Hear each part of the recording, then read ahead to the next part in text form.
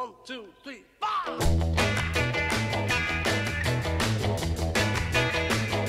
Well, she was just 17. You know what I mean. I'd been up to the cavern and I'd seen what they could do. And I said, let's record every song you got. Come down to the studios and we'll just whistle through them in a day. Don't be nervous, John. I'm not. nervous. Don't be nervous.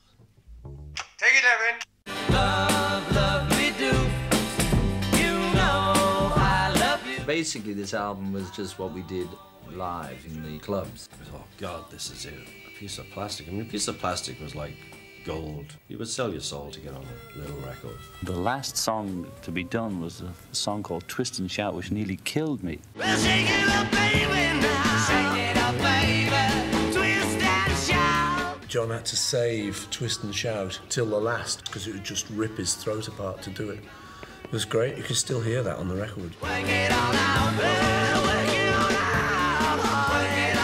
Please Please Me was done in a day. We started at 10 o'clock in the morning, finished 11 at night, and that was the record made. That's it. That's a master. It was. I, I, funny.